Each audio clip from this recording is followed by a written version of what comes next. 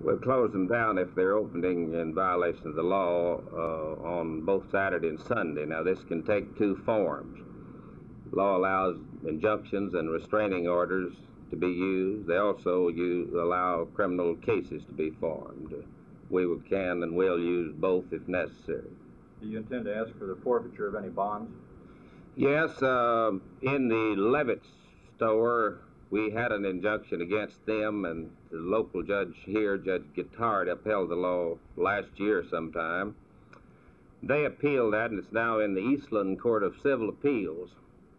Uh, it will be sent back here shortly, and at that time, we'll ask Judge Guittard to forfeit the full amount of the $100,000 bond that they made.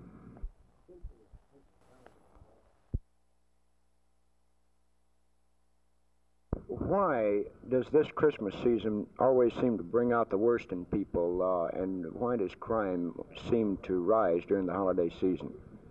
Well, this isn't new. For many, many years, we've had a material increase in robbery and theft, armed robbery, uh, shoplifting, uh, the passing of uh, bogus checks, and etc. Most businesses are, are more crowded, making it uh, perhaps easier for to pass a worthless check. And then, too, of course, the criminals, the ones that uh, are out to do something illegal, to to get something that belongs to somebody else, they take advantage of these various opportunities. And I suppose, uh, even from their angle, there's maybe more desire for spending money at this time of year, too.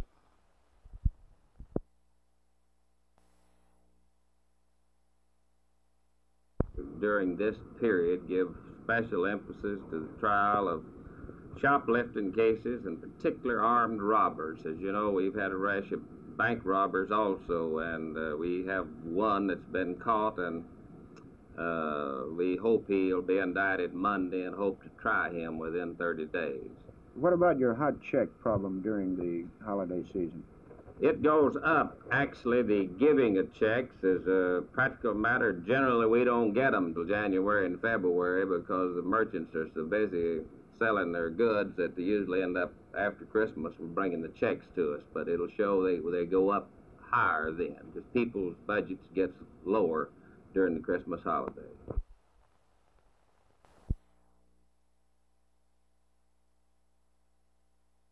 Since all of the investigations were completed and the courts of law that were trying these cases had disposed of them, But then uh, I thought that before something happened to me, I should document what I knew about the entire incident. And I thought that this was a time when people had, uh, you know, uh, their interest is turned to other things to some degree, and, and they could take this book now and uh, calmly read it and not have all the emotion in it that they would have earlier. And then, two, uh, as long as these investigations were going on and trials were in progress, it wouldn't have been right for me to come out with, with uh, my type of book.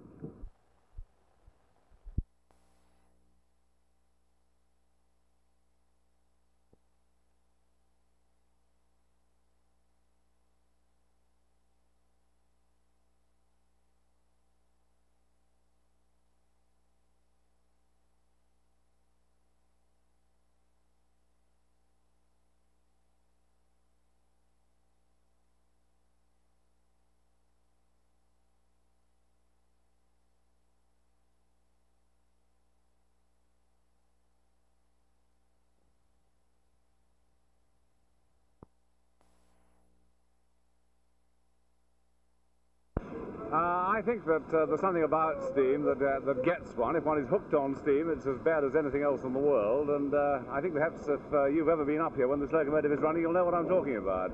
We've noticed uh, that the crew, and yourself in particular, refers to the locomotive as a she. What is it, the, the feminine personality about it?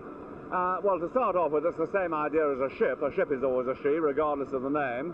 But basically, I think it's to do with the way you've got to handle the thing. Uh, a steam locomotive is not like an internal combustion engine where you get into a diesel or an automobile and just press a button and away you go.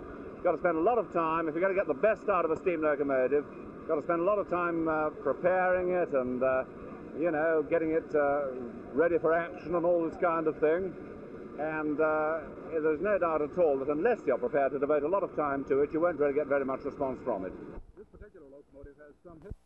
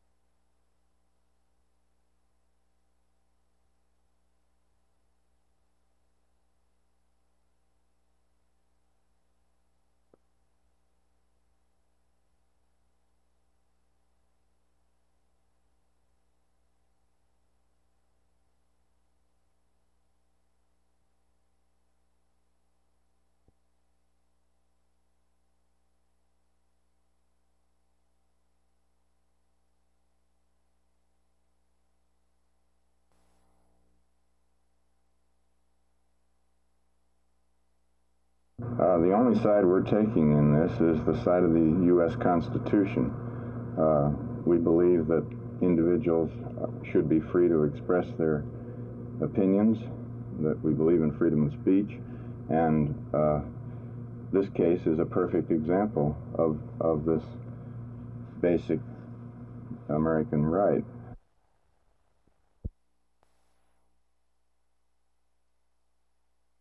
Our policy at this time, deal, is to ban all armbands or any other type of unusual attire or dress that would intrude on the work of the school or on the rights of other students.